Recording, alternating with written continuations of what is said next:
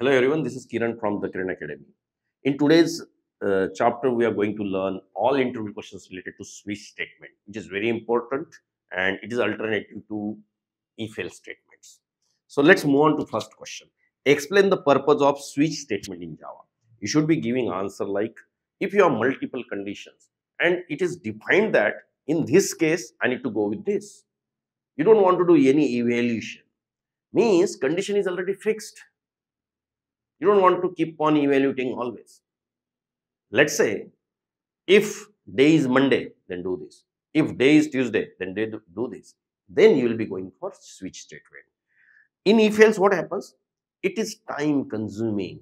10 if else is there, 5 if else is there, every time it is getting evaluated. If this is correct, this is correct, this is correct, or this is correct. But in switch statement, you don't need to worry about.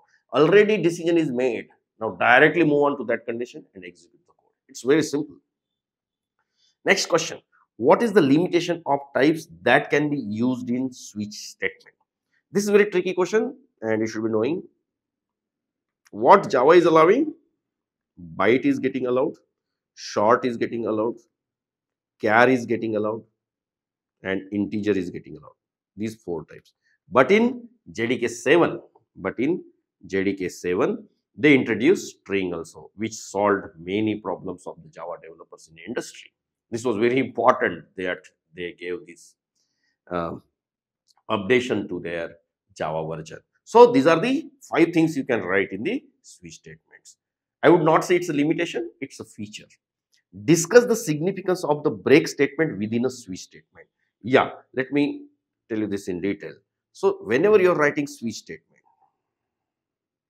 some expression you'll be writing here, something you'll write, some condition, then first case will be there, case 1 something, then case 2 will be there. If you don't write break statement here after finishing, if you don't write these, then case 1 and case 2 will get executed sequentially.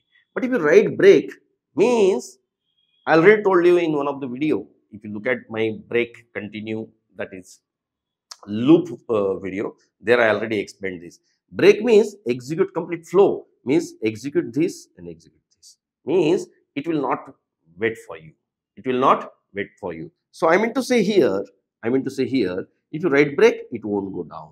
So this is what the significance of big break statement. Can you use strings in switch statement Java? I already told in JDK 7 they have introduced, yes, you can use string that solved many problems of Java developers. How does the default case works in switch statement?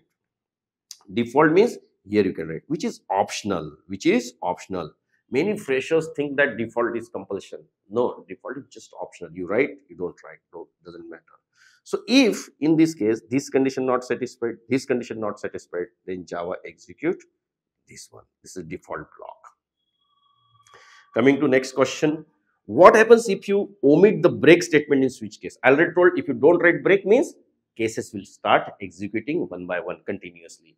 So you don't get proper result. That might not be a requirement many times. Always you should be writing break statement for every case statement. Coming to next question.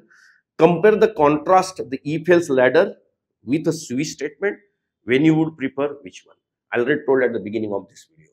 If-else means if you write if-else, if-else, if something, then again else if something, then again else if something. What happens here? To reach to this code, it checked this, it checked this and then it moves. But it would have been a switch statement which I already told decision is made here directly it is reaching to this means you are saving time you are optimizing yourself so which is better if you ask me obviously it depends upon the requirements but if you ask me directly which is best to use i would go with this not with this if I have multiple conditions and it is predefined. So with this, uh, I'm closing this chapter. This was related to switch statement. Uh, let's meet in the next video. Thank you.